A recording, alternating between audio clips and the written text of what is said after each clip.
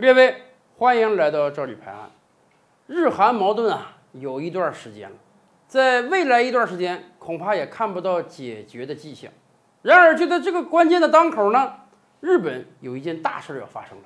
日本新天皇德仁天皇要进行他的加冕典礼了。借这个机会啊，全球各国也会派相当分量的人呢到日本参加这个典礼，这也是一个重要的国际外交场合。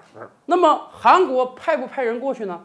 韩国可能觉得，哎，多少得缓和一下日韩关系了，所以啊，韩国准备派政府总理去参加这次典礼，这个分量也很足了，已经是韩国的二号人物了。然而，让人没想到的是，韩国总统府发言人在讲这个事儿的时候呢，使用了一个特殊的字眼儿，让很多日本人感觉到韩国是不是还要存心羞辱日本？他说啊，韩国准备派韩国总理去日本，韩国总统文在寅不能去参加日本新国王德仁的加冕典礼了。哪个词儿用的不对呢？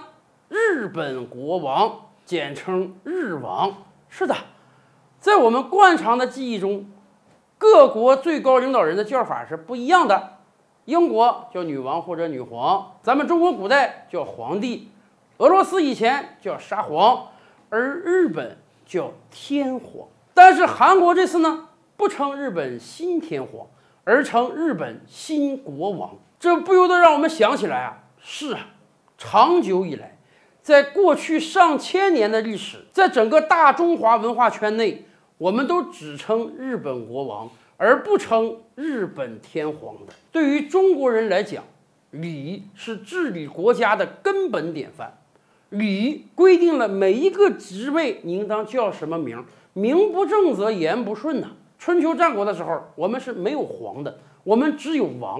本来一个国家只能有一个王，后来到战国了，乱套了，大家都叫王。当秦始皇统一天下之后，他觉得。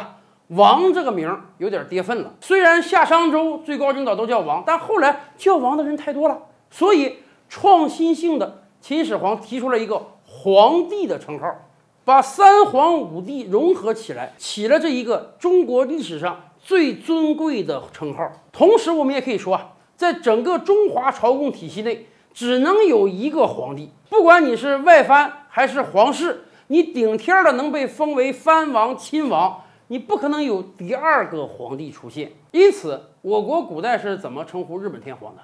前期我们叫倭王，因为那个时候我们认为他就是倭国呀。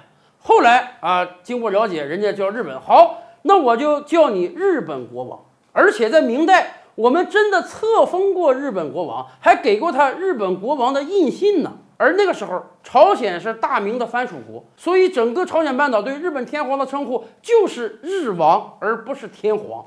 皇只有一个，那是中国的皇帝，你日本哪有资格称皇？而且以前我们还跟大家聊过，说越南统一之后啊，上书给了当年的大明王朝，称自己愿意做一个藩王，尊大明皇帝为主子。大明皇帝当时就册封了越南国王，也给了印信了。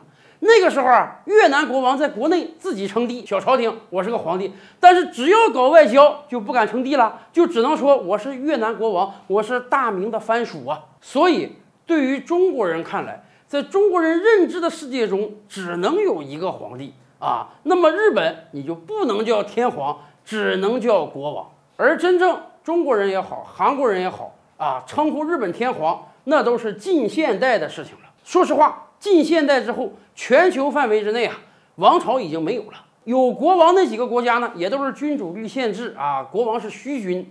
日本天皇实际上也没有什么权利，你叫他皇也好，叫他王也好，那都是封建时代的事儿了，跟现代是没什么关系的。但是韩国为什么今天要重提日本国王这个字眼呢？这实在是因为日韩矛盾根本还没有得到解决，韩国要利用一切能利用的机会。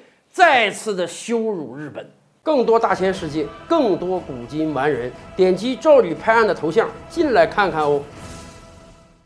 赵吕拍案，本回书着落在此。欲知大千世界尚有何等惊奇，自然是且听下回分解。